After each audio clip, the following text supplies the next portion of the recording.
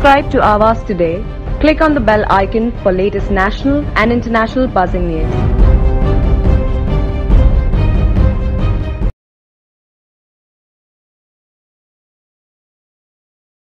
चाळीस सदस्य असलेल्या गोवा विधानसभेची निवडणूक येत्या चौदा फेब्रुवारीला होणार आहे महाराष्ट्र राज्याचे माजी गृहराज्यमंत्री राम शिंदे आणि भाजपचे उत्तर रायगड जिल्हाध्यक्ष व पनवेलचे आमदार प्रशांत ठाकूर यांच्यावर भारतीय जनता पार्टीने गोवा निवडणुकीची जबाबदारी दिली आहे. गोव्यातील सिक्स सी ओलियम या मतदारसंघात सध्या ते प्रचार करीत आहेत. पनवेलच्या पत्रकारांनी आपल्या गोवा भेटीदरम्यान माजी मंत्री राम शिंदे आणि आमदार प्रशांत ठाकूर यांची मापसा येथील भारतीय जनता पार्टीच्या मुख्य कार्यालयात भेट घेतली व त्यांच्याशी संवाद साधला.